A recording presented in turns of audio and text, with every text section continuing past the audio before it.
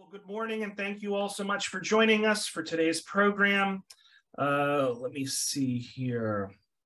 Uh, from Apollo to Artemis, NASA's last and next missions to the moon. Did you know that in 2022 it marks the 50th anniversary of the Apollo 17? And did you know that the Apollo 17 was the last manned lunar landing flight? And did you know that NASA is planning the first full up test flight to the moon? And are you aware of Artemis, which marks NASA's upcoming return to the moon? Uh, with the goals to land the first woman on the moon and establish a permanent lunar presence. And I think we're, we're days away from the launch, hopefully. Uh, so today we're joined by NASA Solar System Ambassador Len uh, Rabinowitz, uh, a retired high school history teacher and a lifelong astronomy enthusiast in a discussion of lunar missions from Apollo 17 to Artemis. So all 50 of us or so, let's give a big virtual round of applause to Len for joining us here this morning. And Len, you can take it away. Thanks so much. Well, thank you. Um, my name, excuse me. my name is Len Rabinowitz. I'm a NASA Solar System Ambassador. Uh, I should be clear, this is a voluntary position. I'm uh, not an employee. I'm not paid. We just uh, do it because we love space and astronomy, and uh, uh, we want to make sure that people are properly informed about these things. Uh, I am a retired history teacher.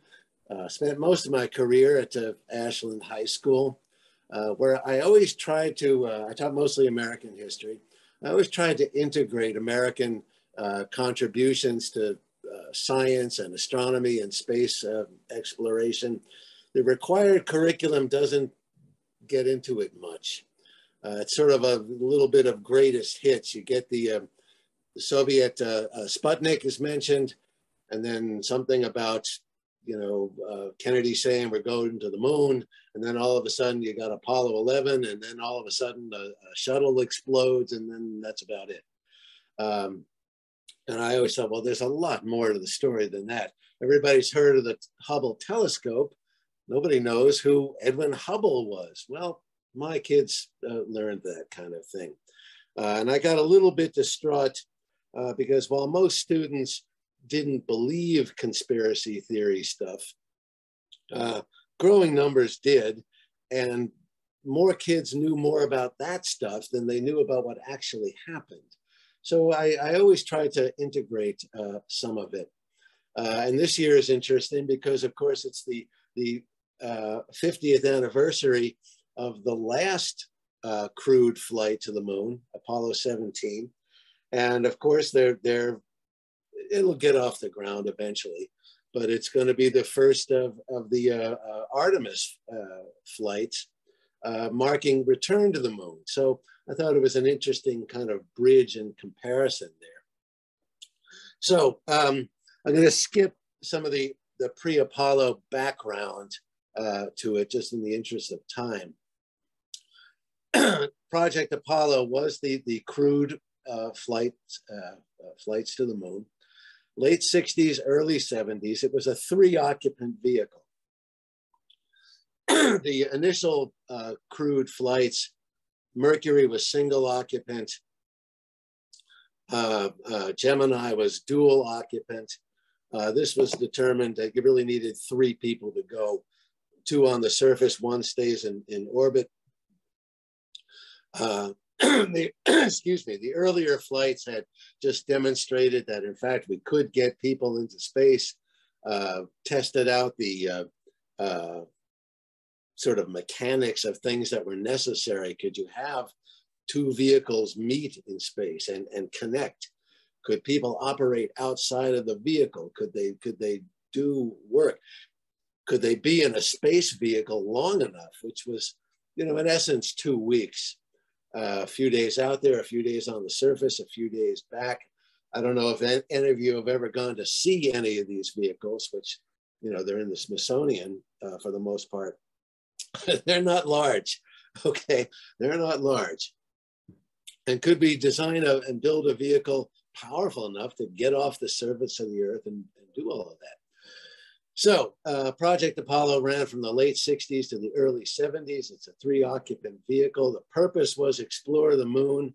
Um, they did uh, uh, have some idea of using Apollo for uh, post-lunar. Never really happened, but there was at least one proposal uh, to send an Apollo spacecraft actually to both Venus and Mars, not landing, they would be flyby missions. That never happened.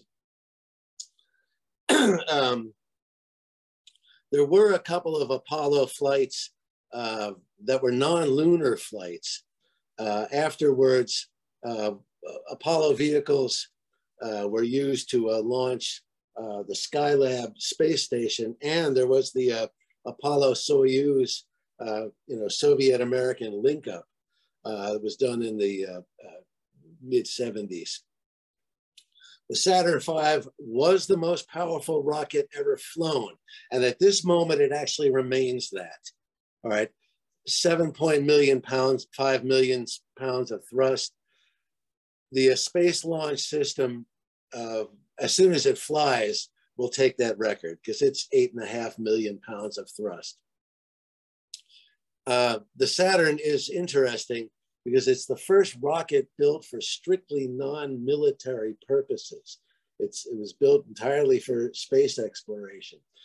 The earlier uh, Gemini and Mercury flights and some of the satellites and everything that were launched, it's kind of an interesting uh, swords to plowshares uh, thing. They took uh, Redstone and Atlas and, and Titan uh, rockets, uh, which had actually been designed to launch nuclear weapons and repurpose them for spacecraft. Kind of a nice, you know, like I said, take it from warfare and use it for uh, peaceful exploration. But the uh, Saturn V is the first rocket, first American rocket. The Soviet ones may have been different. I, I don't know uh, first American rocket designed strictly for space uh, exploration. And the picture there, of course, is of the uh, launch of Apollo 11. the uh, Apollo landing sites, all right, I'm sure um, everyone knows about Apollo 13, which is the one that had an explosion on board on the way out to the moon. So uh, it, it went to the moon, but it never uh, landed. The uh, uh, first of all, the landing sites were uh, the landings were all done during the, the lunar daytime. In fact, in the lunar morning. Okay, they wanted the sun low on the horizon, which would put the least stress on the uh, uh, the lunar suits when they were out on the uh, uh, surface. There was, and we never landed on the lunar far side, which I think there was a proposal, some thought to do that. I think that also would have been on the lunar daytime, so it would have been new moon uh, for us. Uh, it was scrapped because it was uh, too dangerous, considered too dangerous. Um, uh, and also the program was cut.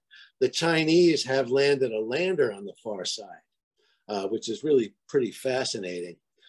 Um, they all tended to land around the lunar equator. Okay, I'm not sure why, but that was considered the safest thing to do. The early flights tended to land in these, these dark, flat areas. Okay, that was obviously considered safer. All right, 11, 12. The later 15, 16, and 17 did go into, they were more confident by that point. Uh, so they did go into some riskier mountainous areas that were more interesting uh, geologically. and one thing that comes up sometimes, it is not possible to see uh, any of the equipment that was left on the surface from Earth. All right.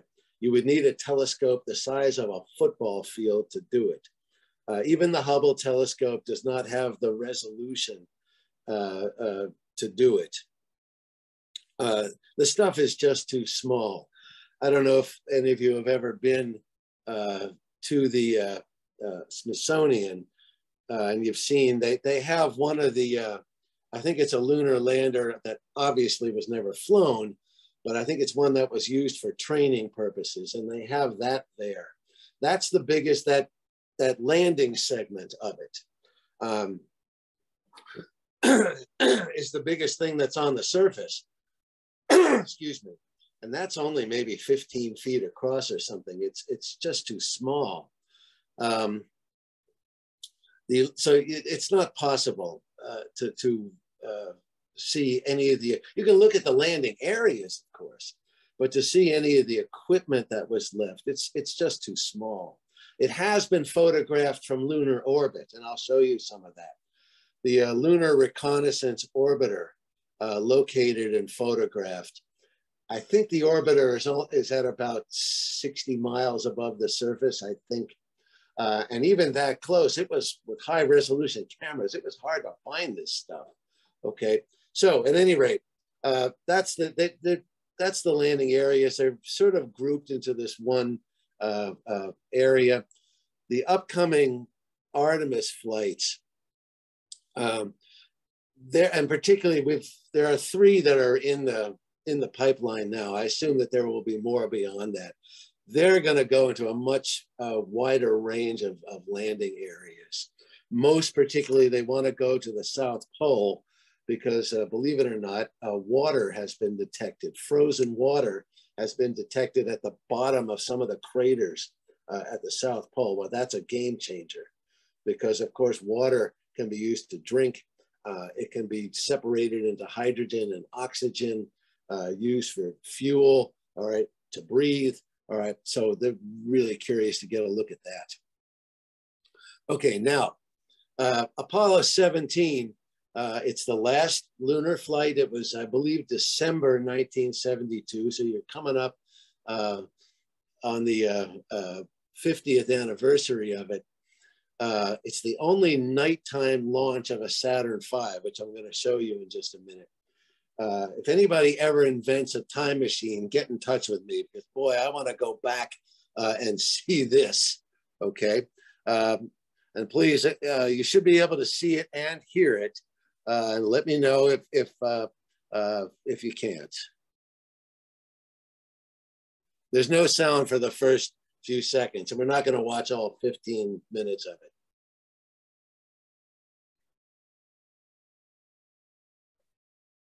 They're monitoring the various rates, pressures, temperatures. They can override the terminal sequencer if they uh, cite a problem that it has not picked up.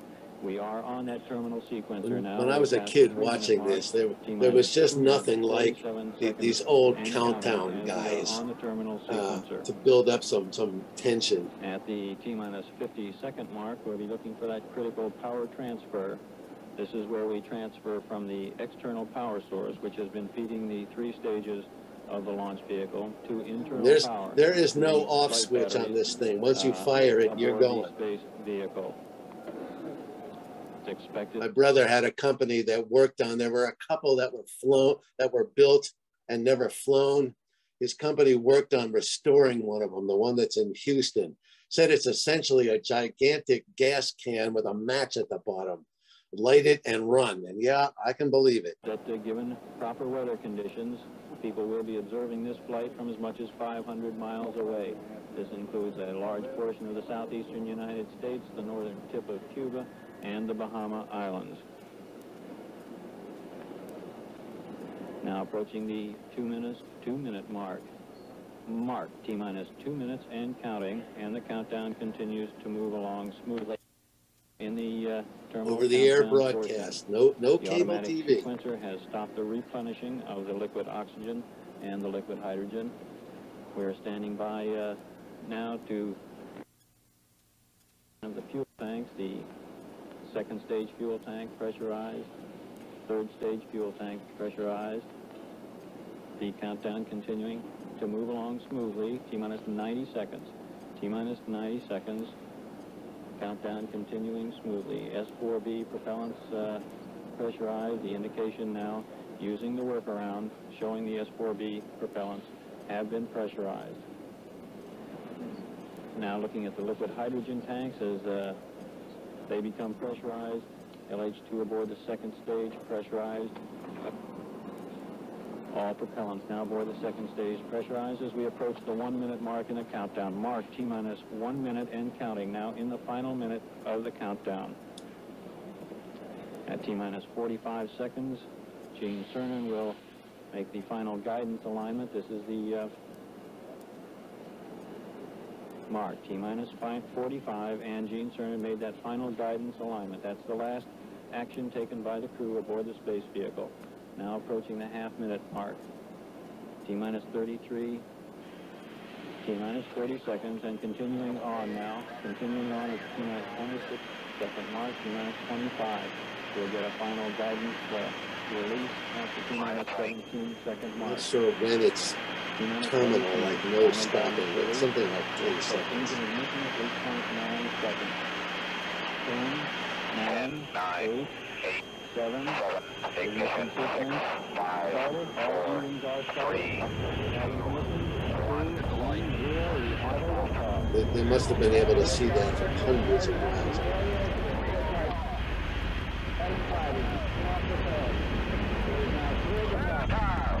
Roger, tower, you all complete? We're in a roll, Bob. Sabina looking great, thrust good on all five engines. Okay, babe, it's looking good. You're Seven rolling point five complete. We million are pounds of thrust. I'll, I'll run it through uh, uh, staging. Wow, Okay, babe. Let's check the angle. 30 seconds, we're going up. Man, oh man. 30 seconds and uh, 17 is go. 17 year go.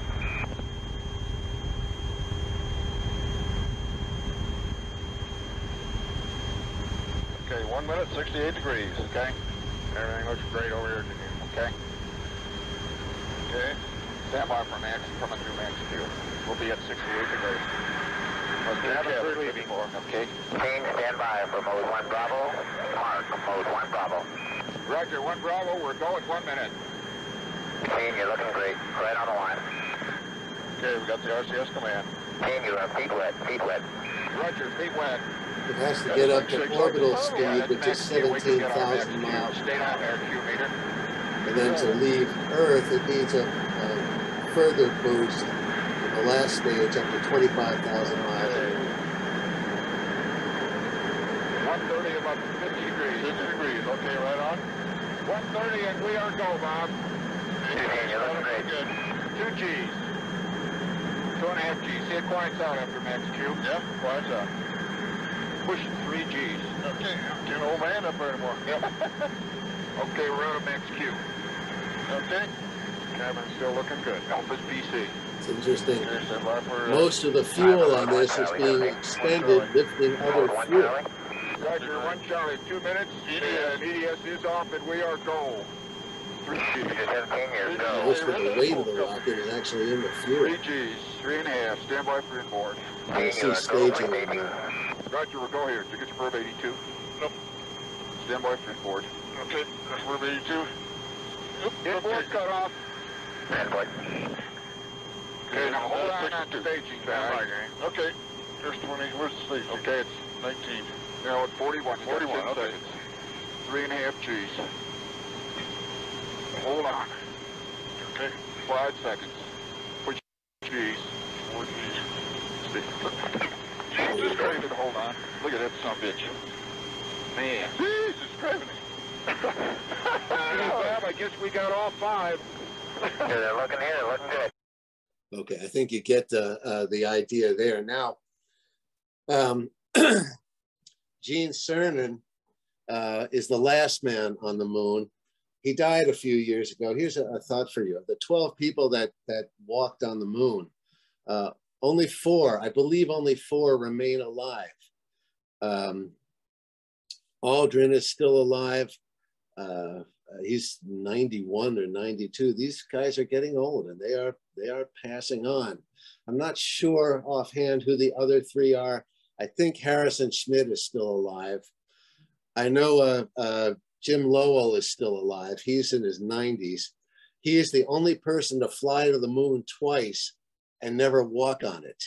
Uh, he went to the moon on Apollo 8, which was an orbital flight, and he went to he was supposed to walk on the moon on Apollo 13. Um, uh, obviously that one didn't land. He was, I think he was offered Apollo 17 and his wife kind of said, oh no, no, you're done. Um, Gene Cernan died a, uh, a, a few years ago. Uh, now, of course, it's routine. Virtually all the astronauts that they send up there are scientists and engineers and, and uh, uh whatnot. Uh, Harrison Schmitt was the first uh, and the only scientist sent to the moon. He's a geologist, later elected senator, I think from Colorado or Utah. Um, they did spend, this was the, uh, uh, uh, the lengthiest time on the moon, okay? And this photograph is rather fascinating. Uh, color in space, I'm an astrophotographer also. Color in space actually gets pretty hard to determine because uh, it depends on how you see it and how it's lit and, and how it's photographed and everything. So determining the, the color of the lunar surface was actually, it's mostly kind of grayish, brownish, uh, was actually one of the purposes of uh, the missions. And they would bring along these color palettes that looked to me like those things they used to show you in a hardware store or a paint store whenever you're trying to match the paint for your house. Um, but that gave them a reference point, okay? One of the discoveries that they made was uh, uh, this orange regolith. And by the way, that's the proper term for it. Uh, you'll hear sometimes people say lunar soil. Well, soil is really kind of biological. There's, there's no biology there. Or, or lunar dust which is maybe a better term, but it's it's not the same as the dust that's under your couch in your living room. Um, the closest uh, analogy on Earth is probably actually beach sand. The stuff is actually like these little glass uh, silicates, mostly formed from volcanic eruptions early in the moon's history or you know, gigantic uh, meteorite impacts and, and, and whatnot.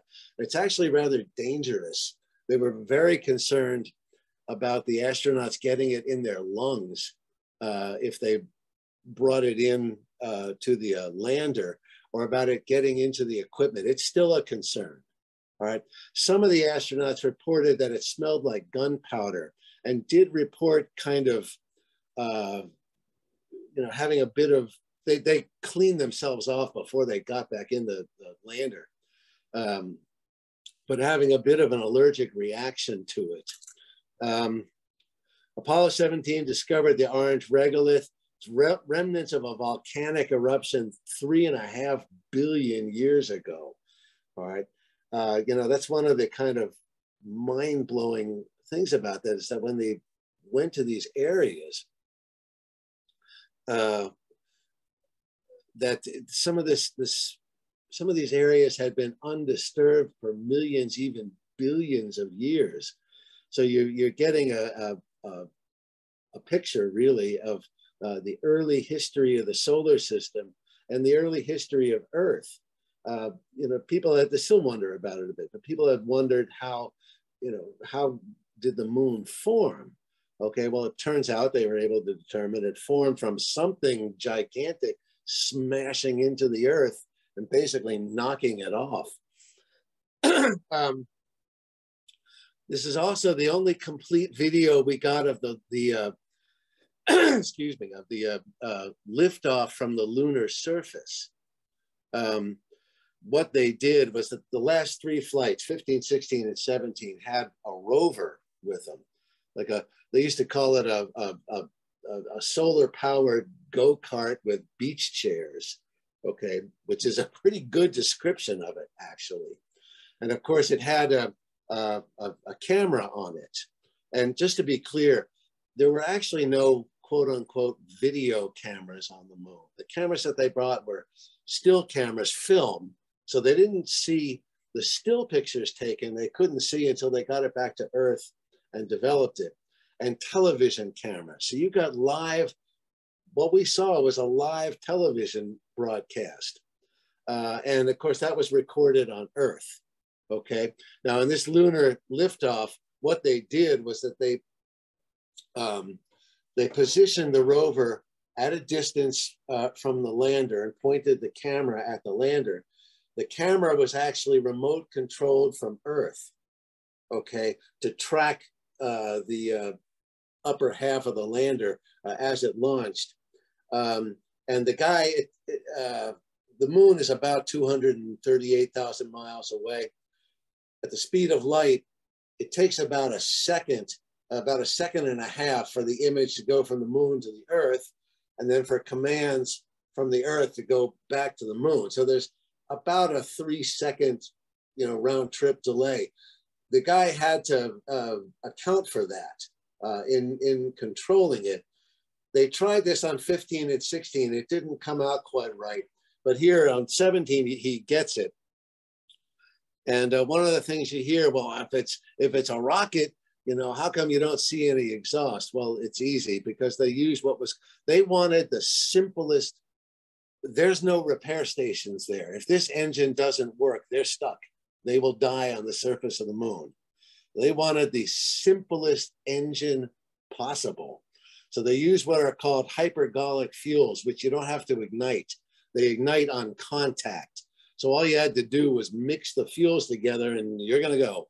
Um, if the engine didn't work, I'm not sure that there was anything. They might have tried some things, but at any rate, so this is the only complete video of a lunar liftoff. Fourth stage, push. Engine arm is destined. Okay, I'm going to get the pro. 99. And you see, you, three, you, you, see the two, explosive one. bolts, but that's it. Ignition. Right away, Houston. Vector grid. And you see he's able to track it. Pitch over. Roger, you have good thrust.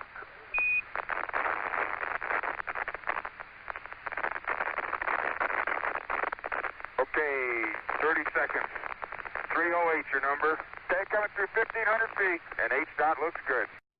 And at any rate, that's that's all I've got of it uh, uh, here. I remember as a kid, uh, the the camera continued to broadcast until basically the batteries died or the you know electronics um, uh, were fried. I remember as a kid watching it and say, "Man, the moon is pretty boring. Nothing happens. It's just this gray rock." Um, NASA has said that they actually would like. It's not on the schedule for these first three missions, but they actually would like to return uh, to some of the old landing sites uh, and study what you know what's happened to the stuff out on the surface. Uh, sometimes people ask, could you could you fire up the rovers again? Very doubtful. Those rovers have had 50 years of uh, being exposed to radiation and you know 500 degree temperature swings. That's probably fried the electronics. But surely you want to study what's what's happened um, uh, to materials left out on the surface for that long. And uh, you know, decades ago, some people started to talk about, you know, you need to do some things to legally protect those sites. Uh, because you, you know you don't want somebody going back to the Apollo 11 site, grabbing the flag and selling it on eBay, uh, you know, which would be an incredibly stupid thing to do. And NASA was always kind of dismissive of that uh, until about 10 years ago. Um, I think it was Google, they canceled this, but they offered a prize to the first company that could land a rover near one of the landing sites and photograph it.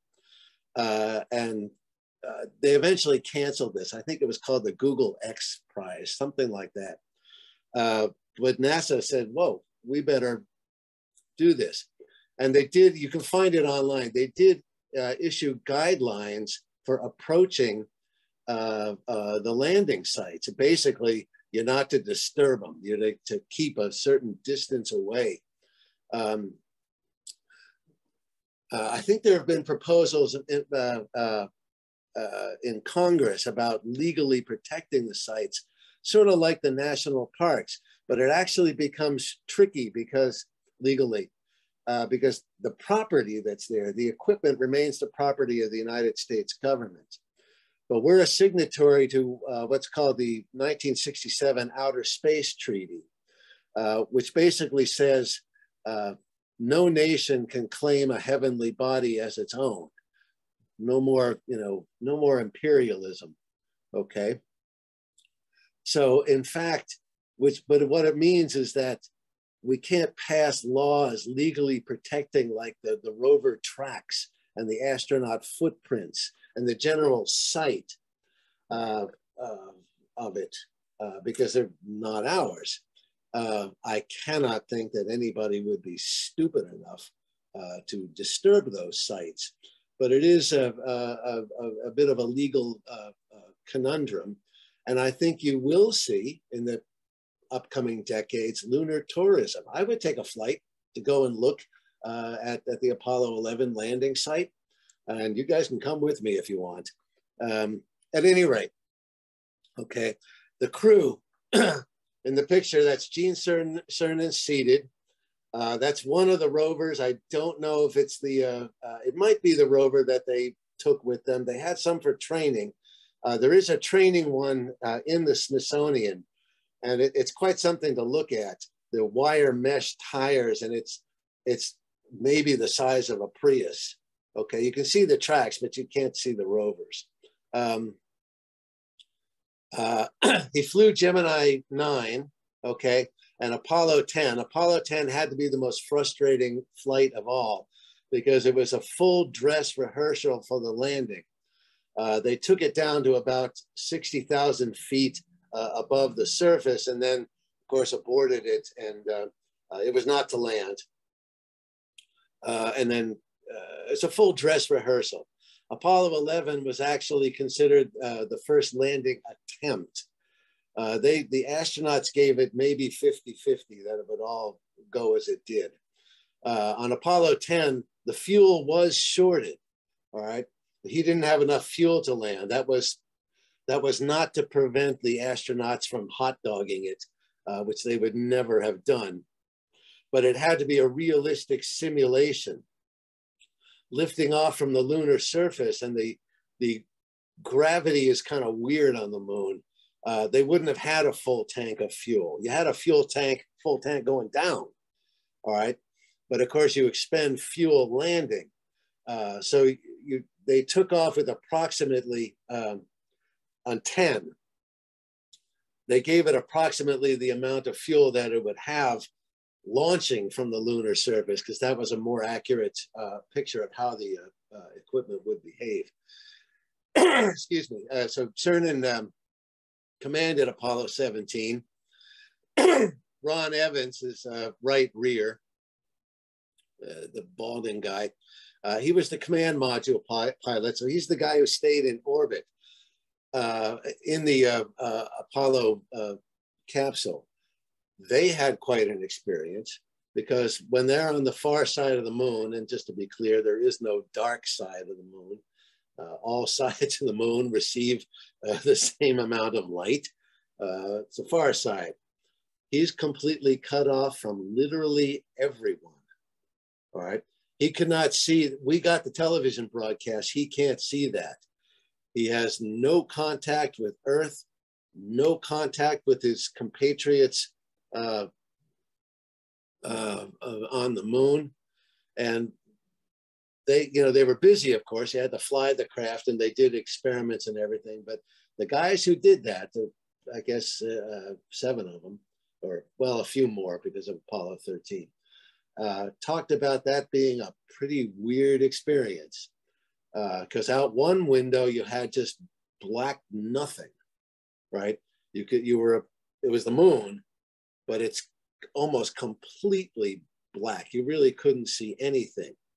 And then out the other window is, of course, this enormous sea of stars out into infinity.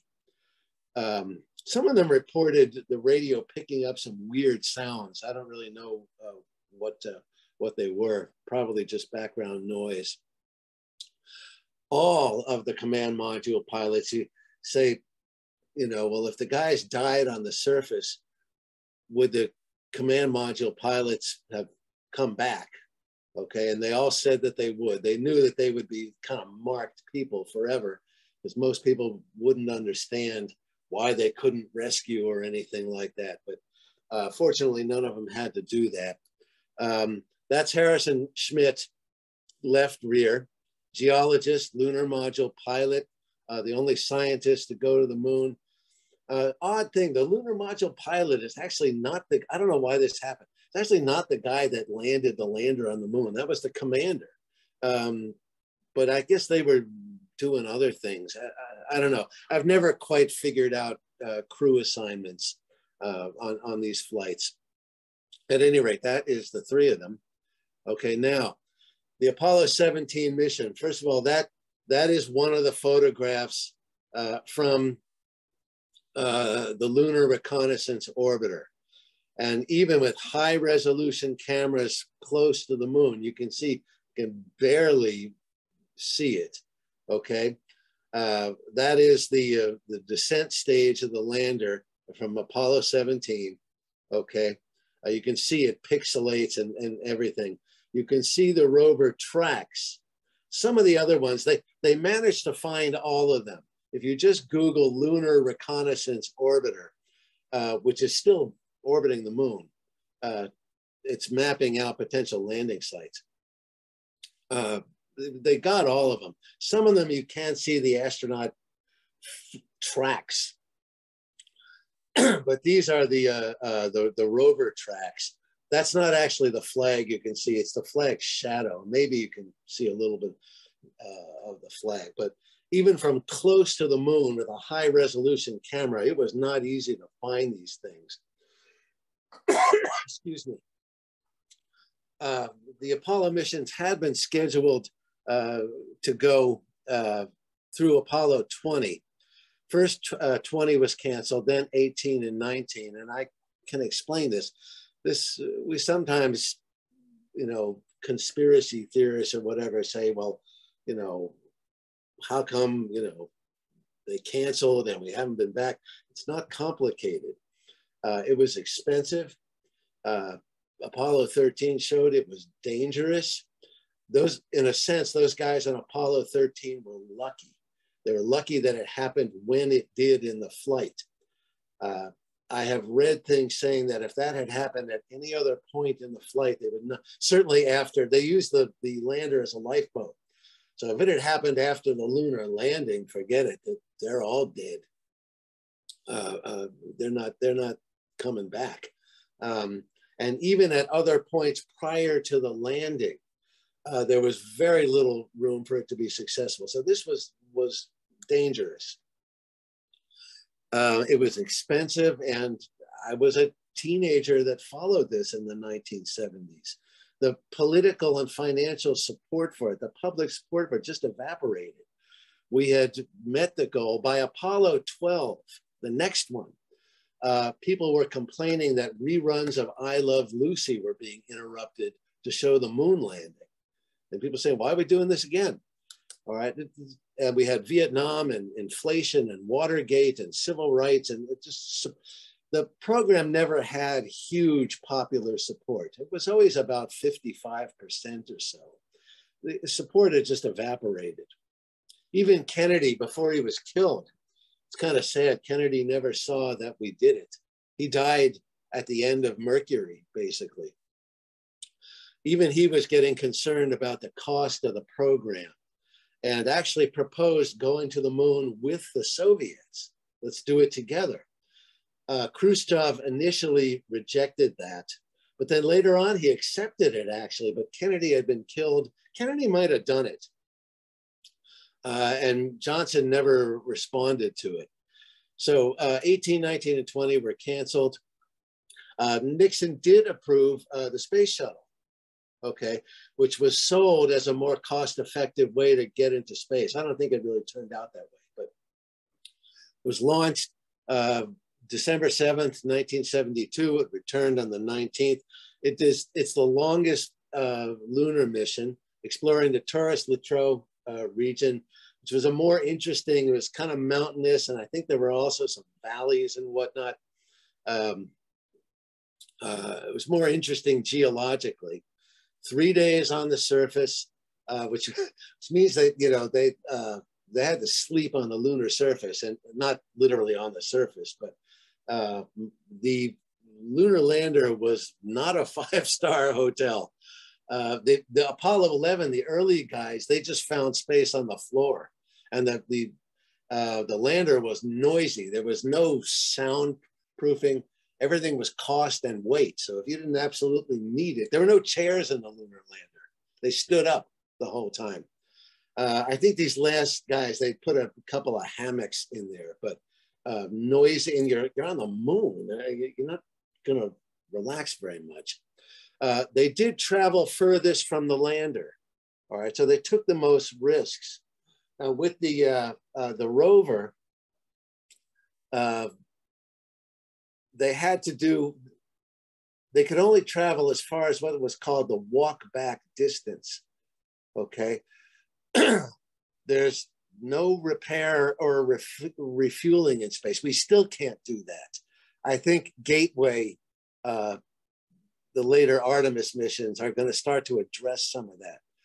We still really, the shuttle could, the shuttle could do some of this, but we don't have the shuttle anymore. Um, but certainly at this time, there was no capacity for rescue, no capacity for repair or refueling or anything. So if something broke, that was it. So if the if the rover malfunctioned, the furthest they could go was however far that they could walk back, and and uh, that was determined by the consumables, water and air uh, that they they carried with them. Uh, if they had to go to the bathroom, there's no service area. Uh, you went in the suit, okay. Um, Buzz Aldrin is the first person to pee on the surface of the moon in the suit.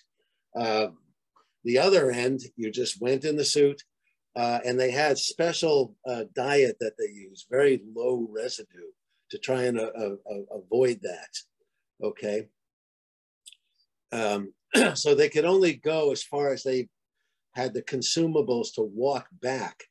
Um, and I think this one went about five miles from the lander, I, I, I think. Uh, the lunar suits, however, five miles would have been quite a walk.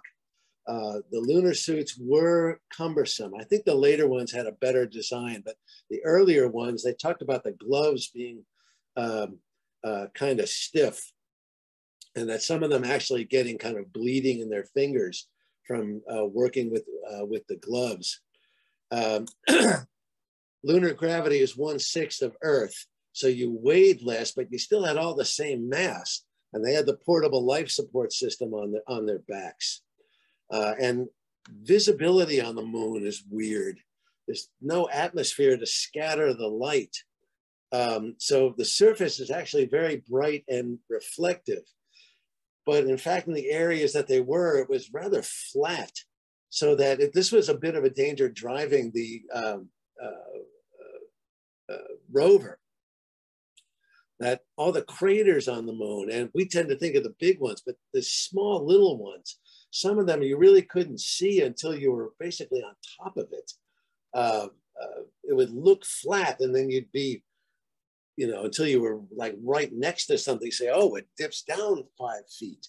So it would have, uh, it would have, it was dangerous enough to drive the rover. Uh, I think a walk back would have been very dangerous. And then, of course, what if what if one of the astronauts fall over? Uh, my understanding is that the regolith is actually slippery. Sometimes people say, "Well, how come the boot print on, on the moon is bigger than the astronaut's shoes?" Because they they put on, I can only think of them as as galoshes. When they went out on the surface, they put um, something over uh, the shoes basically that they were wearing, which had those tread, much greater tread to give them greater traction uh, on the surface. And my understanding is that it had about a couple of inches of regolith on top, and then it's actually hard uh, underneath. But and some of them did fall over. Uh, they were able to get back on their own, but one worry was if somebody falls over because he slips, do you send the other astronaut to help him because that could give you two astronauts down. never happened. A couple of guys that fell over were able to uh, uh, to get back uh, on their own. It's the largest sample return, 254 pounds. we have about 800 pounds of lunar material brought back, much of which actually uh, hasn't been studied yet. They released, I think, about 50 pounds of it at the time of a, uh, the early Apollo flights. But then the rest of it, and it has to be preserved in vacuum. Um, the rest of it uh, was held on to, um, uh, figuring, and they were right, that we'd have better studying techniques later. There was the 50th anniversary of Apollo 11. There was more that was released. Uh, there was some that was given as gifts to heads of state and some that was distributed to museums and whatnot. I believe there is some that is missing. Okay. And I know there was at least one attempt by a former NASA employee to steal some of it, to give it as a gift to his girlfriend uh, or something of, of that nature. But most of it is still under lock and key. And of course, with these new missions, we'll be getting new uh, samples. And yes, five mice were brought along. They didn't bring them down to the surface. They wanted to study the impacts uh, on uh, um, uh, of space, you know, exposure and whatnot on living tissue. One of them died uh, during the flight. Uh, the other four survived the flight, but they had to be autopsied to be studied. Uh, so they sacrificed in the name of, of science. Uh, and they didn't really find much in the way of adverse effect. Um, at any rate, okay, now some of these images, all right, um, the flag is not flapping in the breeze. Uh, the two poles snapped open and the lunar surface is actually rather hard. Um, so they had to kind of twist it in and that's what gives it the motion, but or the, the appearance of motion. You look at the video of it, in fact, it stays absolutely still. I love the one of the lunar rover because uh, one on, on this particular mission, yeah, the uh, uh, the dust guards, those were actually important uh, on the tire uh, because it, it had to keep the dust off of the main components of it. And it, I guess something went wrong, it broke or it came off or something. And so they actually used some tape, they had paper maps, okay? They actually just taped some maps to the top of it uh, uh, uh to, you know, kind of repair it. I guess that worked. Um, so I just think that's a wonderful photo. All this high tech, and yet it came down to, to duct tape to, to fix it. Uh, the one to the right of that, I love it because you, you, you get the seeing on the moon is strange. One, the moon is one quarter the size of Earth. So the horizon is much closer, but there's no atmosphere. So there's no atmospheric distortion of anything. So judging distances is really weird. And those mountains, uh, I don't know the exact distance, but apparently they're much further away than they look. But of course you have, you know the size and scale uh, uh, of the, the rover, okay? But you have this, this gigantic, this, apparently this boulder is really gigantic, much, much bigger than it looks like the size of a house. so judging a, a, a, scale is, is uh, quite odd. And then uh, I love this photo of the uh, guy outside of the spacecraft. On this particular one, I don't know if the other flights did this. The film canisters were stored uh, uh, in the service module, not in the actual Apollo command module. So he had to do a spacewalk to get the film uh, canisters, uh, which were, they had these special storage units. And uh, uh it's, um, it's, the, uh, it's the furthest a spacewalk was ever done from the planet Earth, right? Because they're, they're uh, you know, traveling back and forth to the moon. Okay, how am I doing on time? How much? I want to keep this to an hour. to an hour. can somebody pipe up and just say uh, uh, how much time I've got left? I don't have a clock with me. Yeah, so Len, um, you, uh, we're, we're closing it on noon. Okay. Um, it's eleven fifty-five, you know. Oh, my.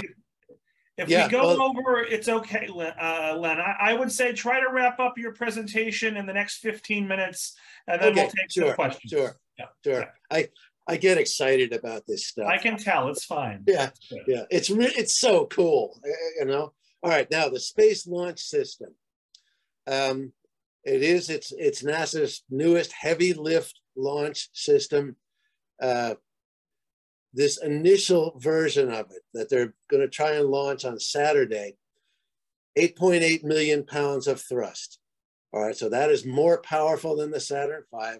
Saturn V is taller. It's Saturn V is taller than the Statue of Liberty. This is a little shorter. I'm not sure how much. Uh, the Saturn V is a full three-stage rocket. Uh, this is being done differently. Two solid rocket boosters and one main core stage. Uh, that'll get it to orbit. And then there is a second stage that'll get it out of uh, Earth orbit. Um, the first configuration can put, we call it 60,000 pounds to orbit and beyond the moon. Okay. There are later configurations that will have nine and a half million pounds of thrust and lift over 100,000 pounds. Uh, that's why it's not reusable. Right now, uh, people talk about the, you know, reusable, reusable, and they're right. In the end, that's where everything is going to have to go. The issue now, however, is that the reusability adds weight because you need fuel to land the rocket. Uh, you need the landing struts, you need the guidance systems, and uh, um, it'll be developed eventually. I know that's what the Starship is uh, uh, working on. But right now, this thing is all about muscle power. This is all about getting a lot of payload uh, out of Earth orbit and to the moon.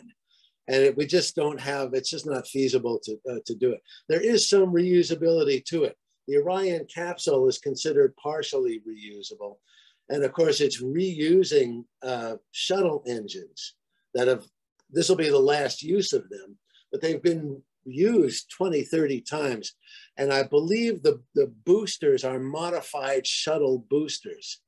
Uh, they've been extended some. Uh, uh, they tried to launch it on, on Monday. I gather the problem was with cooling one of the engines. The fuel that's used is extremely cold and you have to cool the engine before you put the fuel in it or it will just crack. Okay, so they're gonna try again on Saturday, right? the initial uh, block one configuration, okay, four RS-25 engines, uh, two solid rocket boosters, okay, and the, the uh, core stage, which is mostly, is mostly a fuel tank, all right? It looks like the shuttle fuel tank uh, because it's covered with the same uh, foam uh, insulation, okay? That's basically what will get it all off the surface of the earth, okay? Uh, and uh, into Earth orbit, okay? And that's it. That's uh, these are not uh, reusable. That's it's single use. The second stage, uh, it'll be like the old Apollo flights. They'll do an orbit or two to check everything out, and then the uh, second stage is what'll get it out of Earth orbit. All right, it's got a 17,500 miles an hour for Earth orbit. You need 25,000 miles an hour to break Earth orbit. Okay, but then again, that will be expended uh, once it's on its way to the moon, basically. And then um, the top, you have the service module. Okay, uh, there are some adapters. Okay, the crew module. That's the only thing that does the whole trip, and that is at least partially reusable. And the launch abort system. So it looks very much like the old Apollo system. If if it ain't broke, don't fix it. Okay. Um, this is the initial configuration. There will be, assuming it's funded, there will be uh, uh, later uh, configurations. Now, the uh, spacecraft, all right, superficially, it's similar design as Apollo. It has to be, because you need to get through the atmosphere. It's just physics. to get through the atmosphere, you want a pointed tip, okay? Uh, and then you need the blunt end to get back, okay, to, uh, you know, ablate the heat and absorb all the heat, all right? Uh, it has some reusability. Of course, the heat shield can't be reused, all right? It's also just, Apollo was designed for kind of quick and dirty, all right? This is designed for much longer missions, all right? This first uh, uncrewed test flight is gonna be a month, or maybe longer. Uh, they are looking to this uh, to do possibly flights to Mars. It's designed for deep space operations, okay? Um, and uh, it's going to be going, you know, the, the electronics on this are much more advanced. People talk about the Van Allen belts. Or it's not a problem getting people through the Van Allen belts. We, we just blocking uh, the radiation. We did it. The astronauts didn't receive any more than you'd receive, uh, uh, you know, in a few visits to the dentist, really. Um, uh, there was it was higher than that, but it was nowhere near uh, anything uh, lethal. But this is taking a different path. It's going in, in Apollo. They the, the, the Van Allen belts fluctuate. All right, there's two belts and they they fluctuate. The Van the Apollo flights took a path through the weakest areas of them at times when they were weak. We understood them pretty well by that point. And the electronics were much simpler uh, uh, on Apollo. This is much more advanced. And the, uh, the electronics are much more miniaturized, and that miniaturization makes it more susceptible um, uh, to radiation. So that's one of the things they'll be, be testing. Okay, it's just a matter of, of shielding. Okay, but they want to test it uh, before they put people on on on board. Um, there was one test flight of the Orion uh, prior, which did some of the testing, but this is the full up entire thing. Okay, they actually have mannequins on board that have like fake human organs, basically, not real ones, fake ones. They want to test the uh, uh, the radiation shielding, but they'll figure it out. It's it's we did it before, we'll do it again. Um, and then I guess I'll end it here and take some questions. All right the first flight, okay, um, it's an uncrewed lunar orbit test flight, but it's going to go way beyond where Apollo orbited. That furthest reach of it is going to be about 4,000. This is not really to scale. It's going to be about 4,000 miles beyond the moon. Okay. So it's doing a huge loop around the moon. Okay. Initially, they thought it might launch in June, but uh, when they did the, the fueling test, that showed some problems. None of this is unusual um, uh, in, in space flight. Okay, they launch when they're ready. All right, the shuttle had plenty of launch delays, the, all of it.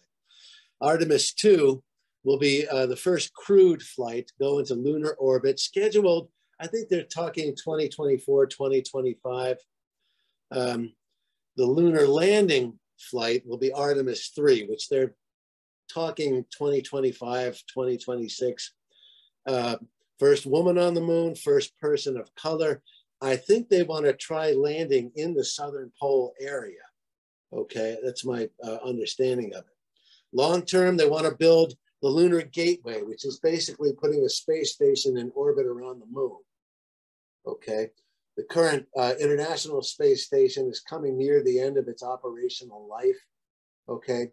Um, there are discussions about a permanent lunar colony, a lunar base, and then you use that as a stepping stone to Mars. The expense comes from getting off the surface of the Earth, okay, and the and the Earth's gravity. If you can launch from space, you build the infrastructure to launch from space or launch from the moon, you put that investment in, then you, you cut your, your uh, the moon has resources, uh, you cut your expense way down because you don't have to, the moon has one sixth gravity. Um, So I hope the thing, uh, 2.15 Saturdays, when the launch window open up, opens up, uh, they wouldn't schedule a, a, a, launch if they weren't confident of it, but uh, who knows, it can be affected by the weather. And I hope everybody watches because when this thing goes, boys, is that going to be a sight to see? Uh, and I guess that wraps it up. I'm sorry to go long, but I get excited about this stuff. And I'll, I'll take questions for a few minutes if there are any.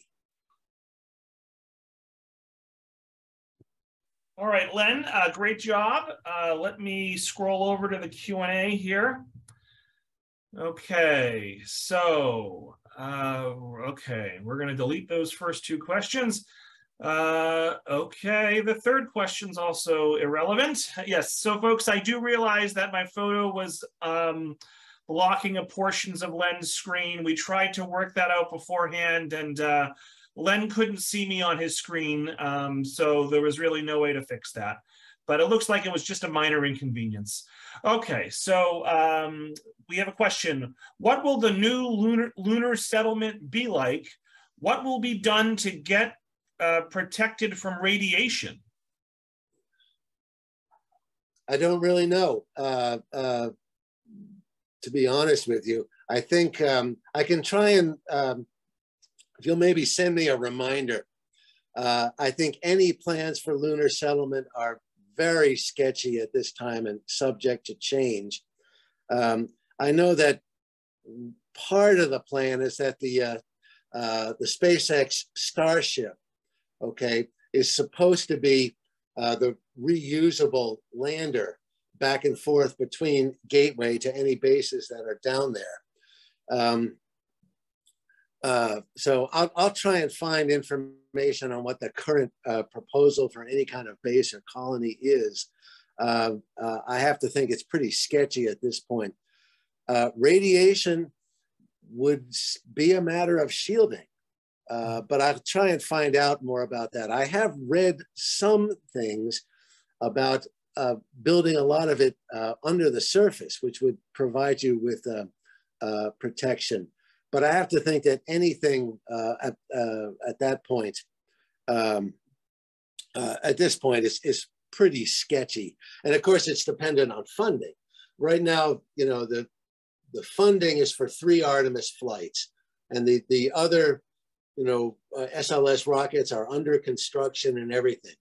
So it, I think you'll, as these fly and presumably are successful, then you'll see more uh, concrete uh, plans about that. But I'll try and find some information. Uh, follow up, uh, could there be unknown diseases on the moon? What will people do to be protected from them? And should we even go to the moon because of the risk of uh, unknown diseases? It's extremely unlikely. Okay.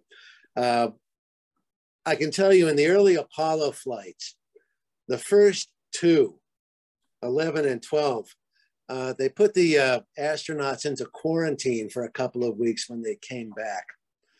Uh, they dropped it after uh, 12 as it, it just was, was pointless, if for no other reason than if there were any pathogens, uh, uh, it would have gotten out when the, you know, they land in the ocean and the, the Navy divers go and open the, the, the hatch to get the astronauts out. That's exposed to the air. So putting them into some kind of quarantine, it, it was more for public relations. There has uh, never been any indication of anything living or, or uh, uh, uh, uh viral or whatever on the moon. And what I've read about it, and it's, it's comparatively little, is that if there were anything like that, the most likely thing is that it, if it was truly totally alien biology, the most likely thing is that it couldn't interact with us at all. Um, of course, if, if, you know, since they found water, that does bring up some possibility. Um, and I, I'm assuming that that will be checked for, but uh, I don't know what would be done uh, if that were found, but I would say that the risks of it are enormously unlikely. Uh, Francis asks, from both a cost and a safety perspective, would it make more sense to perhaps stop sending people and just send robots? I think that's a decision. Um, that's a good question, and a lot of people ask it. There are proposals out there for this. Um, I think that's a that's a question. It's almost a political question, actually. You know, the American people fund this. Uh, they have to decide uh, if that's what they want to do. Um, you know, as, as as a kid when I was watching this, and and you know, I've met some of the astronauts and, and whatnot. Uh, it's just jaw-droppingly amazing. Mm-hmm. Um, you can make an argument that that people can still do what the machines can't. Uh, on-site decision making. Uh, people can have inspiration and insight that machines can't yet. What a machine, for example, on the uh, lunar rover, the one I showed you with the maps taped onto the tire, would a machine have thought of that? I, I, I don't know. Um, uh, I can't answer it, actually. It's a wonderful question, but that's, in essence, the voters will have to decide it. Um, certainly, it's uh, safer uh, to send uh, robotic missions. Uh, is it more cost effective? I'm not so sure on that. Maybe. Uh, but the aspects of exploration and of just uh, human decision making and decision making on the spot uh, and just excitement and national pride and whatnot. I think people have to decide that for themselves. And obviously, NASA is sending people in these three missions, and I'm here as a representative of them. So, of course, I'm supportive of it. Uh, it's a deeper question, uh, one that we'll, we'll have to make. All right, a few uh, questions on Artemis. Uh, we talked about this one before we uh, started. Uh, Joyce asks, how likely will the canceled Artemis launch actually occur on Friday? Uh, it's scheduled for Saturday, actually, Saturday, 2.15. Uh, I don't know likelihoods offhand. I can, you know, the, the main variable is always the weather, okay? And uh, you know, I I think NASA actually has the same, you know, the National Weather Service. I think they use the same weather mm-hmm. prediction that we do. Mm-hmm. Uh, they they wouldn't have scheduled if they weren't at least reasonably confident of that. Although of course it it can change. Um, my guess, and that's all it is, is is uh, probably still 50-50. Uh, launch delays are are uh, very common. Mm-hmm. Um, and there are some things I was reading about this. Uh, NASA tends, like SpaceX tends to assemble, and God bless them, they do fabulous things, but they do their testing differently. They tend to assemble the rocket and test it by launching it, which means that in fact, that they get a very high failure rate which is good. Uh, uh, uh, Elon Musk has said that those failures are important. NASA, you got a multi-billion dollar rocket here and you've got three that are paid for. So you, you don't want to test it that way. Okay, you don't want to launch this thing and have it blow up on, on, on the launch pad or, you know, blow up five miles high. NASA tends to do all its testing in the design and construction uh, uh, uh, phases, is where you get these cost overruns and delays and, and all of that. They tend to do comparatively little full up testing once the thing is uh, uh, uh, assembled. Um, having said that, though, there are some things that cannot be tested uh, until you say, all right, we're going to try and go. And I, my understanding is that was part of the problem here. So I would still put it that they're not going to schedule it unless they're reasonably confident that it's going to go. My guts are telling me it's still probably 50 50. Of course, but that includes, you know, what the weather does, which we're sitting here on Wednesday could change a lot in, in, in three days. Mhm. So it will eventually go. It will eventually launch. There's there's no doubting it. But the shuttle that that that contributed to the, the delays. That contributed to the the um, uh, Challenger explosion because it had been delayed and delayed and delayed, and uh, people got frustrated and they just launched it when they shouldn't have. Uh, they learned a lot from that.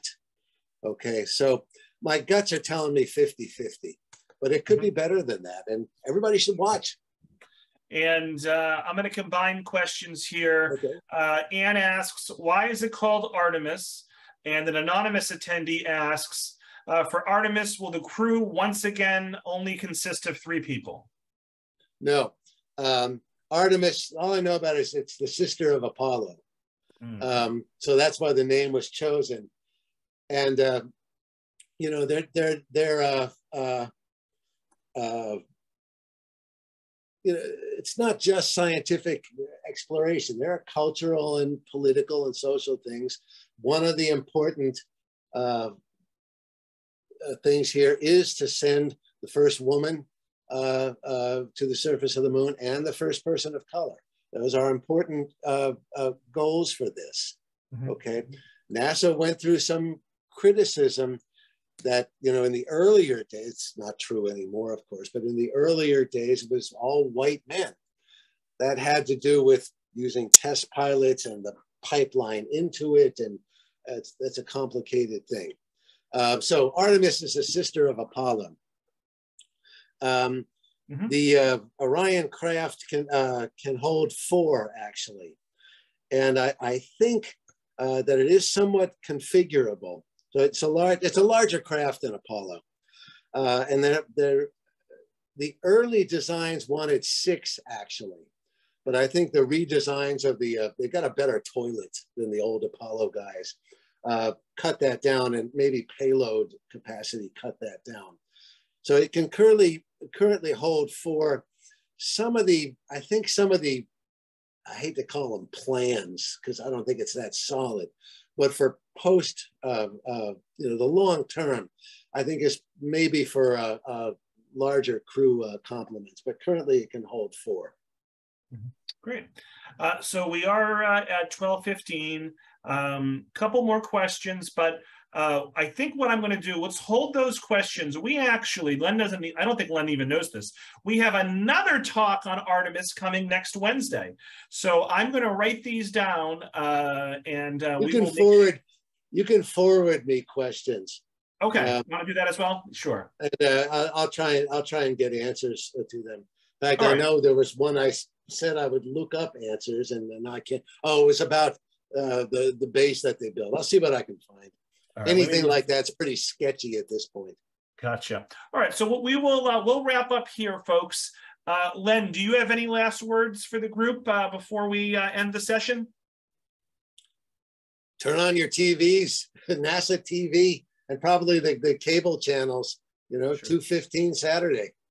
All right, be there or be square. So thank you so much, Len. Uh, folks, look for an email from me tomorrow with the recording, with the feedback survey, and with information about our next three uh, solar have- ambassador If they have further questions, Yep. just forward them to you, and they can forward them to me, and I'll see what I'll. And you can forward it to me, and I'll I'll see what I can do. All right, yep, I'll, I'll make sure to mention that in the email tomorrow. So thanks Sure. so much, Len. Uh, thank you all for watching. I hope everyone has a great rest of their day. All right. Thank you. Bye-bye. Yep, thanks, Bye. Len.